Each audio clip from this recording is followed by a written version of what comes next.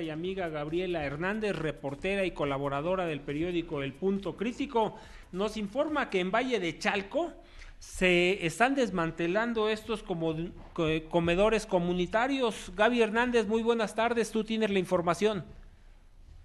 Hola Eduardo, buenas tardes, buenas tardes al auditorio. Y sí, exactamente, los administradores de los 22 comedores comunitarios que hay en Valle de Chalco expresaron para el punto crítico que en días pasados el personal jurídico del ayuntamiento y encabezado por el secretario Moisés Bautista llegaron a notificarles que deberían desalojar las instalaciones de las casas de día, lugares donde se encuentran dichos comedores y que están dentro del programa federal Sin Hambre.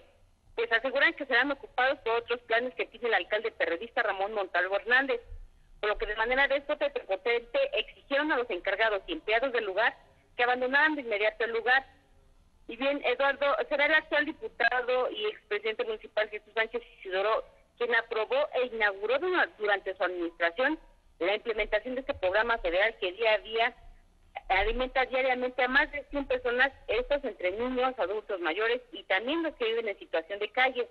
Y más en esta época navideña que se les ocurre hacer esto, Eduardo.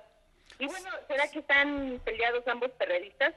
Tal vez es por eso el actuar eh, del alcalde y en cuanto a este tema, eh, acudimos al delegado de Cedesol en el Estado de México, el licenciado Edmundo Ranero Barrera, que nos dijo que ya se está checando con la subsecretaría de gobierno para que apoyen y, no permitan que se deje de dar alimento a más de 3.000 personas en Valle de Chalco. Pues así las cosas, Eduardo. Pues muy mal, ¿no? Porque eh, dejan desprotegidas a estas gentes, a estas personas que menos tienen, que viven en situación de pobreza. Eh,